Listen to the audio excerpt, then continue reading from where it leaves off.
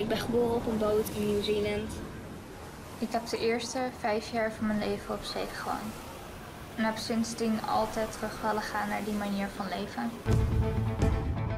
Here's an interesting controversy. A 13-year-old Dutch girl wants to sail the world alone. Council for Child Protection's so concerned about the dangers of the voyage, it's asked a court to grant it custody of Laura. Decker had to fight a 10-month court battle to be allowed to make that trip by herself.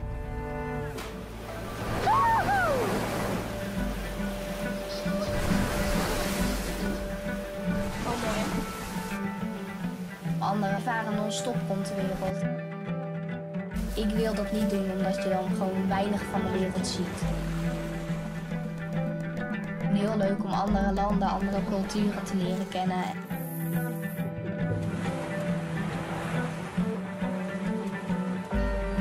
All the other kids in school thought that I was crazy.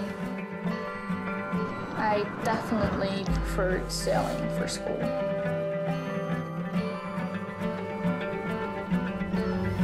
Love being alone. I feel like freedom is when you're not attached to anything.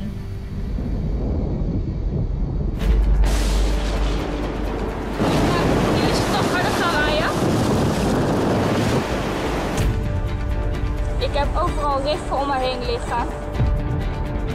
Nu zit ik hier. Alweer in zeiluitrusting, want uh, nou ja, we komen over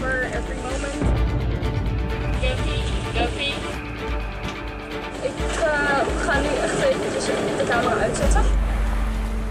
Of course there were people who say you're crazy. But it's a dream, a great, great dream.